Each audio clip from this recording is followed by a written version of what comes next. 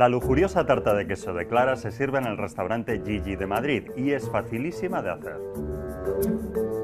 Yo hago una, una base con galleta María y mantequilla. Derrito la, la mantequilla, la mezclo con galleta María triturada y hago esa base. Y luego mezclo queso crema, huevos, azúcar y nata con bien de grasa. Lo primero, lo que tenemos que hacer es triturar las galletas. Un paquete de galletas entero con 100 gramos de mantequilla. Simplemente en un molde de estos, que tiene que tener aro y tenemos que ver que está bien cerrado. Vuelco toda mi galleta aquí, Las galletas son unas galletas María Bulgaris, ¿no? de toda la vida. Le doy un pelín hacia el lateral simplemente como para que suba un poquito por el borde para que me mantenga bien y no se salga por ningún sitio. Y en el momento que ya lo tengo todo bien hecho, lo que hago es meto esta base en el congelador. Vamos con el relleno. Tan fácil como la nata.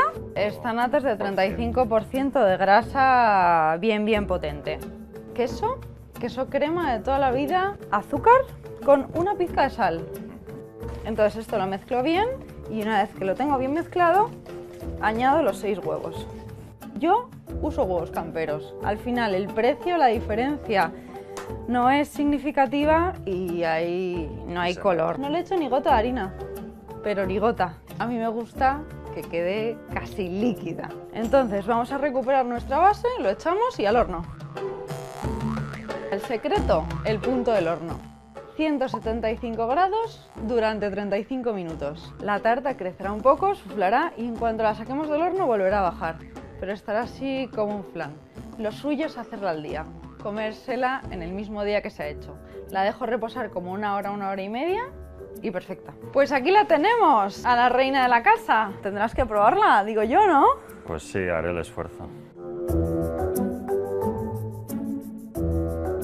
Aquí tenemos nuestra tarta. ¡Qué pinta! ¿Ves cómo baila ahí? Parece mi tripa. Mira además cómo se queda claro que se va perdiendo un poco ese queso, pero yo creo que forma parte un poco de la magia de esta tarta. Madre mía, ¿qué es esto? ¿Aprobamos? Está impresionante. Lo que has mejorado desde León come gamba, ¿eh? Has visto, ¿eh? Es impresionante, ¿eh?